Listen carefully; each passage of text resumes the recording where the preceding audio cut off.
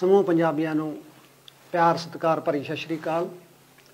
ਅੱਜ ਤੁਹਾਡੇ ਸਨਮੁਖ ਹੋਣ ਦਾ ਮੇਰਾ ਇੱਕੋ ਹੀ ਕਾਰਨ ਹੈ। ਜਿਵੇਂ ਤੁਹਾਨੂੰ ਸਾਰਿਆਂ ਨੂੰ ਪਤਾ ਹੈ ਵੀ ਦੋ ਦਿਨ ਪਹਿਲਾਂ ਤੁਹਾਡੀਆਂ ਅਰਦਾਸਾਂ, ਤੁਹਾਡੀਆਂ ਬੇਨਤੀਆਂ ਜੋਦੜੀਆਂ ਦੇ ਸਦਕਾ ਵਾਹਿਗੁਰੂ ਕਾਲ ਪੁਰਖ ਨੇ ਆਪਣੇ ਤੇ ਮਿਹਰ ਕੀਤੀ, ਆਪਾਂ ਨੂੰ ਸ਼ੁਭਦੀਪ ਵਾਪਸ ਕੀਤਾ। ਪਰੰਤੂ ਅੱਜ ਸਵੇਰ ਤੋਂ ਮਨ ਬੜਾ ਪਰੇਸ਼ਾਨ ਸੀ।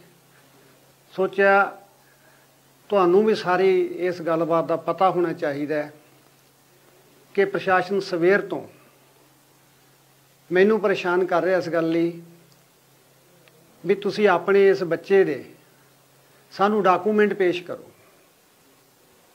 ਇਸ ਬੱਚੇ ਨੂੰ ਲੀਗਲ ਸਾਬਤ ਕਰਨ ਲਈ ਮੈਨੂੰ ਤਰ੍ਹਾਂ ਤਰ੍ਹਾਂ ਦੇ ਸਵਾਲ ਪੁੱਛੇ ਜਾ ਸਕੇ ਮੈਂ ਸਰਕਾਰ ਨੂੰ ਇੱਕ ਬੇਨਤੀ ਕਰਨੀ ਚਾਹੁੰਦਾ, ਖਾਸ ਕਰਕੇ ਸੀਐਮ ਸਾਹਿਬ ਨੂੰ, ਵੀ ਕਿਰਪਾ ਕਰਕੇ ਤੁਸੀਂ ਇਸ ਗੱਲ ਤੇ ਤਾਂ ਥੋੜਾ ਜਿਹਾ ਤਰਸ ਖਾਓ, ਵੀ ਇਹ ਟ੍ਰੀਟਮੈਂਟ ਤਾਂ ਪੂਰਾ ਹੋ ਲੈਣ ਦਿਓ। ਮੈਂ ਇੱਥੋਂ ਦਾ ਰਹਿਣ ਵਾਲਾ, ਮੈਂ ਇੱਥੇ ਹੀ ਰਹੂੰਗਾ, ਜਿੱਥੇ ਤੁਸੀਂ ਮੈਨੂੰ ਬੁਲਾਓਗੇ, ਮੈਂ ਤਲਬ ਕਰੂੰਗਾ, ਮੈਂ ਹਰ ਜਗ੍ਹਾ ਤੇ ਪਹੁੰਚੂੰਗਾ। ਤਾਂ ਕਿਰਪਾ ਕਰਕੇ ਪਹਿਲਾਂ ਤਾਂ ਮੇਰਾ ਜਿਹੜਾ ਟ੍ਰੀਟਮੈਂਟ ਹੈ ਉਹਨੂੰ ਕੰਪਲੀਟ ਹੋਣ ਦਿੱਤਾ ਜਾਵੇ। ਤਾਂ ਇੱਕ ਮੈਂ ਤੁਹਾਨੂੰ ਇੱਕ ਸਖਤ ਸ਼ਬਦਾਂ 'ਚ ਇਹ ਗੱਲ ਕਹਿਣਾ ਕਿਉਂਕਿ ਮੈਂ ਦੁਖੀ ਬਹੁਤ ਹਾਂ ਅੱਜ ਕਿਉਂਕਿ ਤੁਹਾਡੀ ਇੱਕ ਆਦਤ ਹੈ, ਤੁਸੀਂ ਹਰ ਇੱਕ ਗੱਲ ਤੋਂ ਜੂ ਟਰਨ ਲੈਣੋ ਫਿਰ ਬਾਅਦ ਦੇ ਵਿੱਚ। ਤੁਹਾਡੇ ਜਿਹੜੇ ਸਲਾਹਕਾਰ ਨੇ, ਤੁਹਾਡੇ ਜਿਹੜੇ ਪਾਛੂ ਨੇ, ਉਹ ਤੁਹਾਨੂੰ ਇਹੋ ਜਿਹੀ ਸਲਾਹ ਦਿੰਦੇ ਨੇ ਤੇ ਫਿਰ ਤੋਂ ਉਸ ਫੈਸਲੇ ਤੇ ਰੁਕਿਆ ਨਹੀਂ ਜਾਂਦਾ।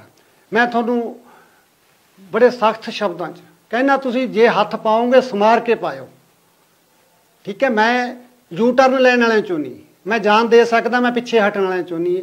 ਮੈਂ ਜਿੱਥੋਂ ਤੱਕ ਗੱਲ ਕਾਨੂੰਨ ਦੀ ਹੈ, ਮੇਰੇ ਪੁੱਤ ਨੇ ਜਿੰਨਾ 28 ਸਾਲ ਦੀ ਜ਼ਿੰਦਗੀ ਜਿਉਂ ਕਾਨੂੰਨ ਦੇ ਦਾਇਰੇ 'ਚ ਰਹਿ ਕੇ ਜਿਉਂ ਮੈਂ ਇੱਕ ਸਾਬਕਾ ਫੌਜੀ ਹਾਂ, ਮੈਂ ਕਾਨੂੰਨ ਦੀ ਹਰ ਜਗ੍ਹਾ ਦੇ ਉੱਤੇ ਰਿਸਪੈਕਟ ਕਰਦਾ ਔਰ ਮੈਂ ਤੁਹਾਨੂੰ ਯਕੀਨ ਵੀ ਦਿਵਾਉਣਾ ਚਾਹੁੰਦਾ ਇਸ ਗੱਲ ਦਾ ਵੀ ਮੈਂ ਕਾਨੂੰਨ ਦੇ ਹਰ ਪਹਿਲੂ ਤੇ ਖਰਾ ਉਤਰੂੰਗਾ। ਮੈਂ ਕਿਸੇ ਵੀ ਜਗ੍ਹਾ ਦੇ ਉੱਤੇ ਕਾਨੂੰਨ ਦੀ ਉਲੰਘਣਾ ਨਹੀਂ ਕੀਤੀ। ਅਗਰ ਮੈਂ ਕੀਤੀ ਹੋਈ ਮੈਨੂੰ ਫੜ ਕੇ ਜੇਲ੍ਹ 'ਚ ਪਾ ਦਿਓ। ਅਗਰ ਤੁਹਾਨੂੰ ਫਿਰ ਵੀ ਮੇਰੇ ਤੇ ਵਿਸ਼ਵਾਸ ਨਹੀਂ, ਪਹਿਲਾਂ ਮੇਰੇ ਤੇ ਐਫ ਆਈ ਆਰ ਕੱਟੋ, ਫੜ ਕੇ ਮੈਨੂੰ ਅੰਦਰ ਦਿਓ। ਫਿਰ ਇਨਵੈਸਟੀਗੇਸ਼ਨ ਕਰੋ। ਤੇ ਮੈਂ ਆਪਣੇ ਸਵੈ ਵਿਸ਼ਵਾਸ ਦੇ ਨਾਲ ਇਹ ਗੱਲ ਕਹਿੰਦਾ ਵੀ ਮੈਂ ਸਾਰੇ ਲੀਗਲ ਡਾਕੂਮੈਂਟ ਤੁਹਾਡੇ ਸਾਹਮਣੇ ਪੇਸ਼ ਕਰਕੇ ਮੈਂ ਇੱਥੋਂ ਸਾਫ਼ ਵਰੀ ਨਿਕਲ ਕੇ ਦਿਖਾਊਂਗਾ ਤੁਹਾਨੂੰ। ਧੰਨਵਾਦ।